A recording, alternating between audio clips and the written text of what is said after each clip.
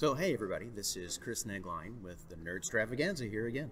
I am with Robert Charles Wilson, a nominated author, an award winning author, more than you can care to count, especially international, the Hugo as well. And we are here doing a quick interview after he has been at the Broward College campus as part of Humantopia. They have an annual event called uh, The Rites of Spring, and this year was science fiction themed. Yes! And he gave a great little excerpt from his Hugo winning novel, Spin. So thanks for being with us. And my pleasure. Thank you. So, um, Spin was part of a trilogy that also went to, I believe, Nexus and Vortex. Vortex, after that. And after that, you've been doing single projects. Is there a reason for that, or just Well, I, out of the field? I've written mostly standalone novels over the course of my career.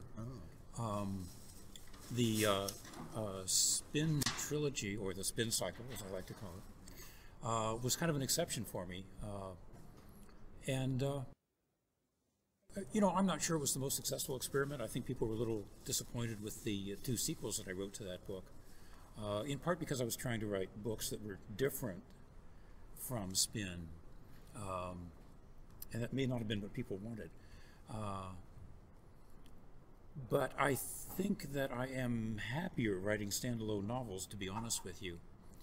Uh, I've never been a huge fan of series novels, with some exceptions. Uh, um, trilogies always seem faintly suspicious to me. I think it was Oscar Wilde who said not everyone can write a three volume novel because it requires a complete ignorance of both art and life.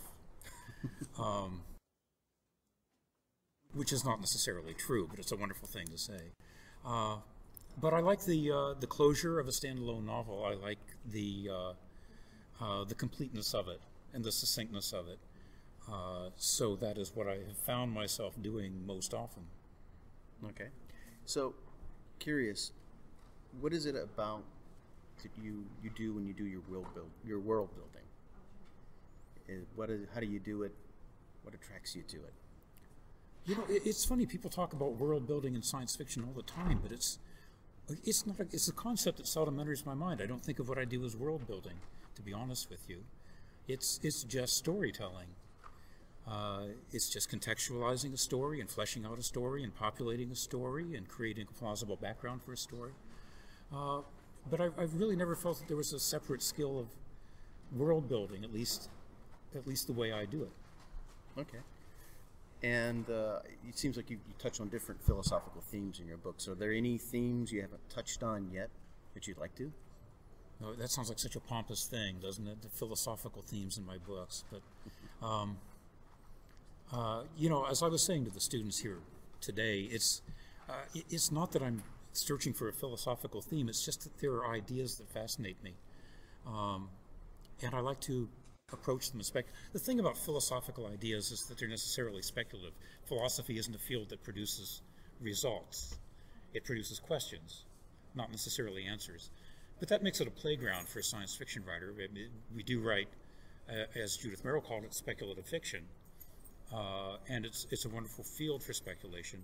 Um, cosmology fascinated me for a long time. Scientific cosmology, uh, which was once a philosophical question that's been uh, uh, overtaken by science. Um, cognitive science fascinates me. I, I think uh, one th- I've been reading cognitive science recently, and it strikes me that we're uh, we may be on the edge of uh, another that science may be making another another inroad into the uh, territory of philosophy. Uh, I don't think we have had a really scientific theory of mind. Uh, we've learned a lot more about neurology, but psychology is still kind of mysterious and still kind of uh, resides in the realm of philosophy and speculation. And I don't know what would come of a really profound understanding, a scientific understanding uh, of the human mind, human behavior, and how human beings relate to each other. Uh, that's a theme I kind of approached in uh, The Affinities, uh, my most recent novel.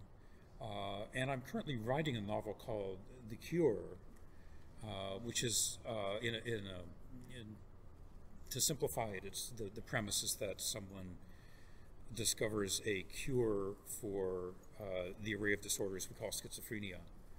uh, that uh, turns out to change the mind in other important ways, unexpected ways. Um, so cognitive science has been on my mind uh, lately.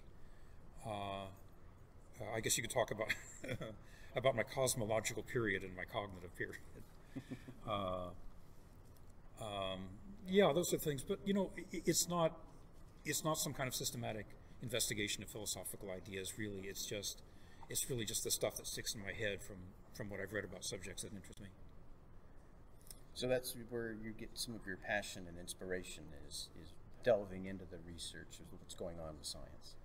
Well, yeah, that and, and wondering about the human implications of it, which is which is what a novelist does. Exactly. Uh, trying to take it down to ground level and give it to, to people like you and me. Uh, that's the fun and the fascination of it. Now, so if I remember with the affinities, it was mostly about technology, and the spin was technology, and then kind of went into biology. Would, do you have, uh, lean one way or the other to the fascination of technology or biology?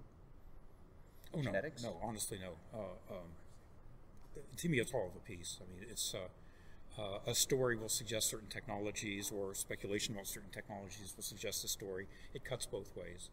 Uh, it's not something I can predict what's going to what's going to provoke a story from me. Uh, so I can't say there's anything systematic like that going on.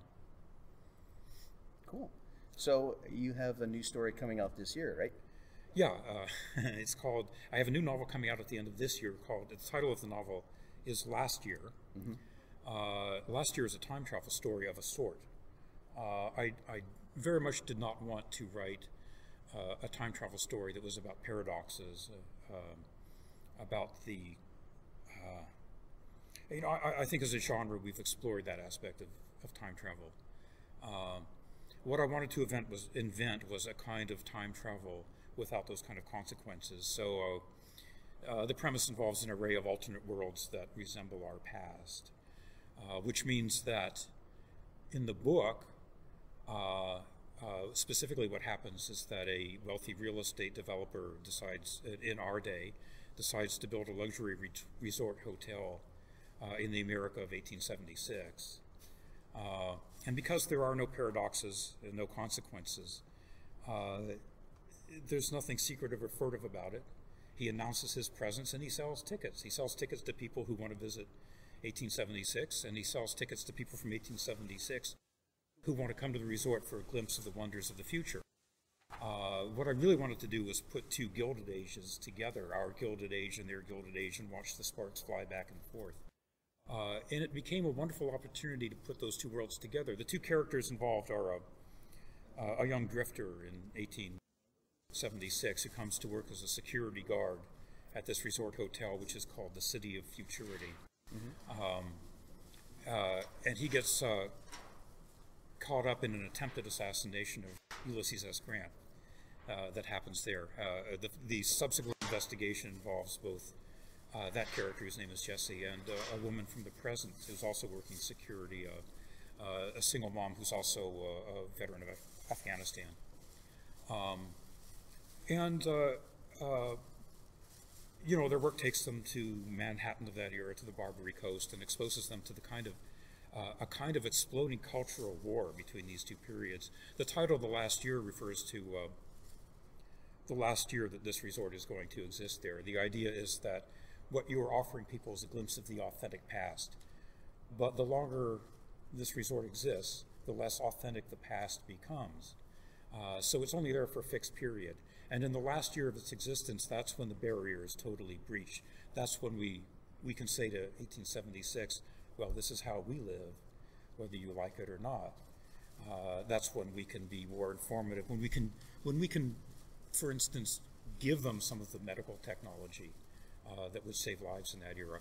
Uh, but it's it's a very disconcerting look at the future for those people, and uh, it's a very disconcerting look at the actual past for people from our time who idealize that past. Uh, and you throw in gun smuggling and uh, you know, uh, uh, drug rings and, any any historical cameos. well, yeah, yeah. U.S. Grant appears. Um, it doesn't happen on screen, but on screen. It doesn't happen on the page, but both Edison and Mark Twain were invited to speak. I was about to say, you said Gilded Age, so I was Yeah. just waiting for that. yeah, but they're also putting on shows for 1877. They import a Cirque du Soleil show for people, and there's a there's a series of uh, introduction to cinema movies for people who've never seen a movie before. It was so much fun inventing what goes on at this resort hotel. That was part of the pleasure for me. I can, I can only imagine. I can only imagine. Well, we're uh, a little pressed for time, so we're going to wrap up. This is a little shorter episode than usual. Thank you again for checking us out at the Nerdstravaganza podcast and our YouTube. Don't forget our sponsor, the Adventure Game Store.